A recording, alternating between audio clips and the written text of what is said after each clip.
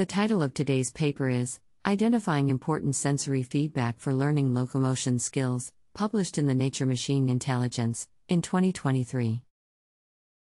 Robot motor skills can be acquired by deep reinforcement learning as neural networks to reflect state action mapping.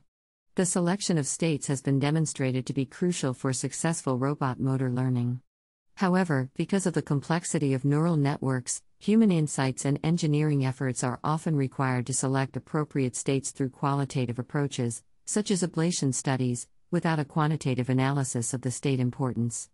Here we present a systematic saliency analysis that quantitatively evaluates the relative importance of different feedback states for motor skills learned through deep reinforcement learning. Our approach provides a guideline to identify the most essential feedback states for robot motor learning. By using only the important states, including joint positions, gravity vector, and base linear and angular velocities, we demonstrate that a simulated quadruped robot can learn various robust locomotion skills. We find that locomotion skills learned only with important states can achieve task performance comparable to the performance of those with more states. This work provides quantitative insights into the impacts of state observations on specific types of motor skills, enabling the learning of a wide range of motor skills with minimal sensing dependencies.